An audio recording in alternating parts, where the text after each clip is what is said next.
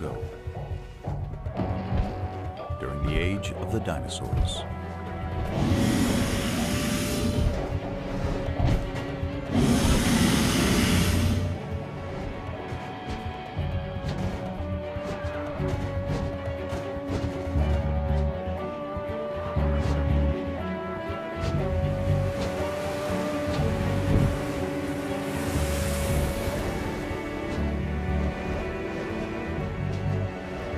There was another world of giants on Earth. A submerged world, where enormous reptiles ruled seas filled with incredible creatures.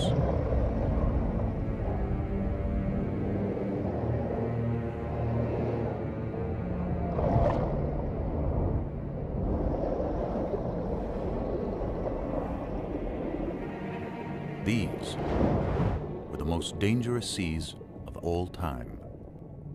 No living thing was safe.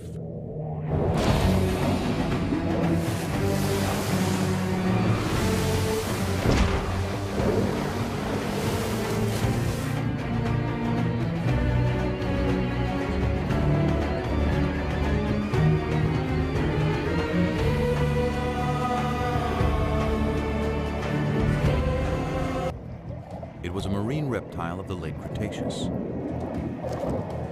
A little bigger than a dolphin, and a fast swimmer in North America.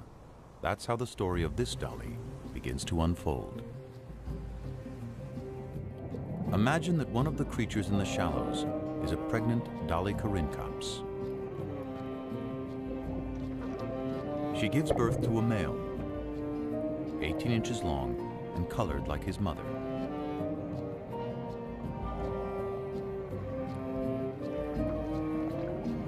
And a female, darker in color, with light patches below her eyes.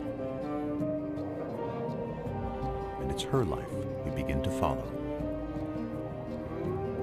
She and her brother are air breathers. Instinct tells them what they have to do in their first minute alive.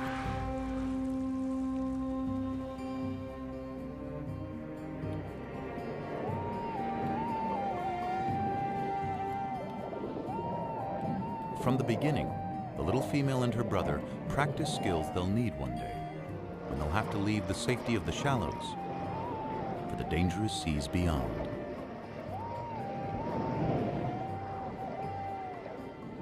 If she survives the perils to come, she'll return here one day and have young of her own.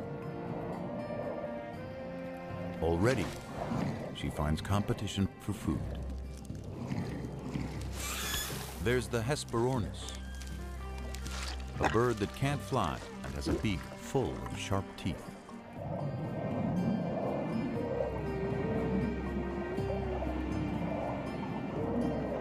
And the Styxosaurus, a distant cousin of the dollies, with a supersized neck.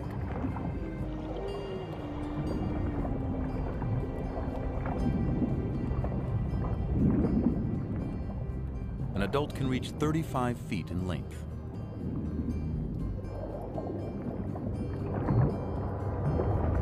More than half of it, neck.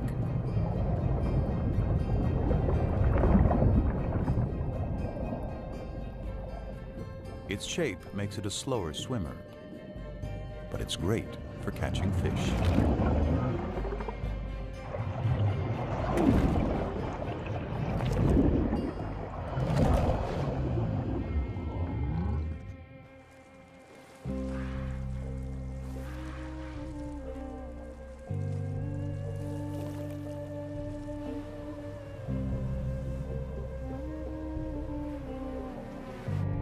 The little dolly soon comes across creatures that move by pumping jets of water from their shells.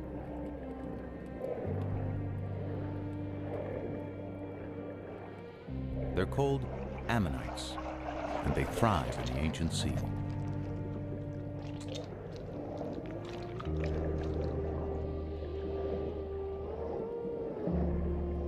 They have rock-hard armor, and perhaps another defense.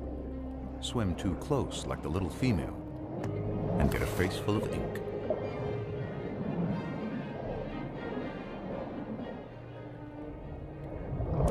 But that doesn't stop a young platecarpus when it wants a snack. Ammonites were... Months have passed, and the female and her brother are now juveniles. But they're still in the safety of the shallows unaware of the huge predators in the sea beyond. For now, they're mastering the art of catching their favorite prey, herring-like fish called Enchodus.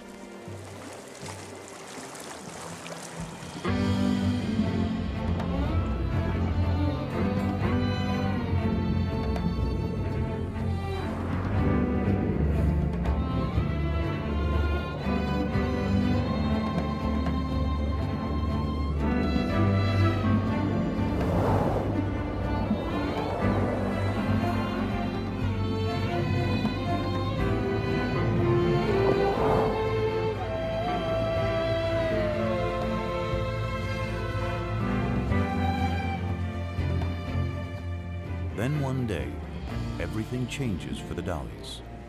Perhaps it's a change of seasons that causes the Enchodus to head out to sea on a migration. The Dollies must follow their main source of food. And that means the young female and her brother must now set out on the journey of their lives. Trailing their mother from the shallows out into the western interior sea. It's about the size of the Mediterranean and only a few hundred feet deep. Filled with dangers.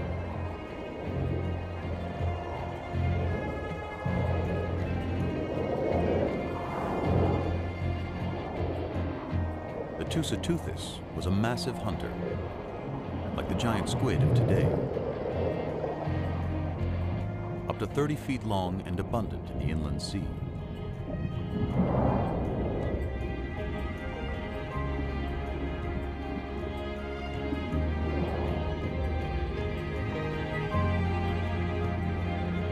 It was too big to be attacked by the Platecarpus, who settles for smaller prey.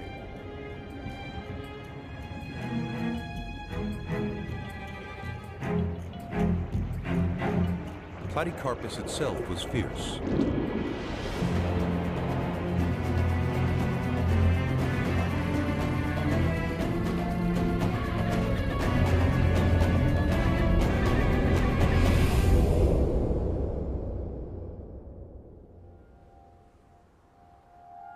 The tylosaurs were out there.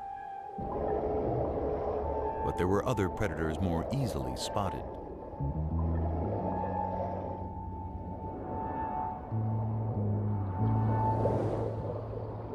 As fish go, Xiphactinus was gigantic, up to 17 feet long.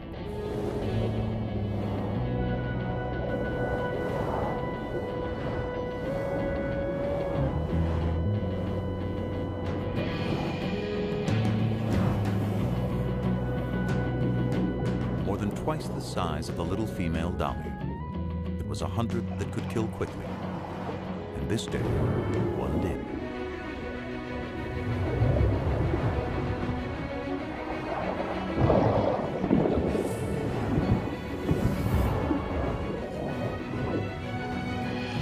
The victim was a six-foot fish called a gillicus.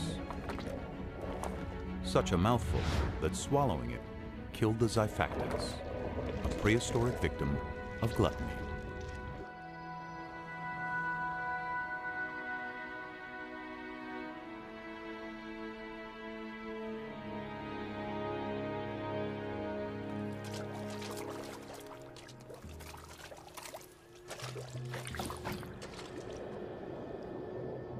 Weeks pass, and the dollies are now far from any shore, venturing into a sea turned magical by night. Microscopic plankton give off an eerie glow.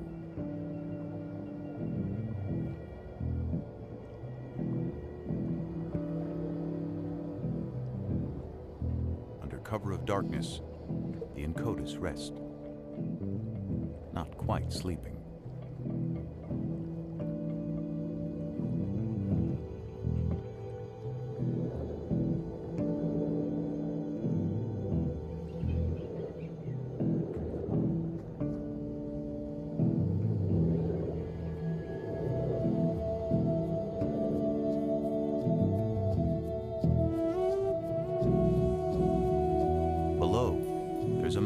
Spawning of straight-shelled ammonites.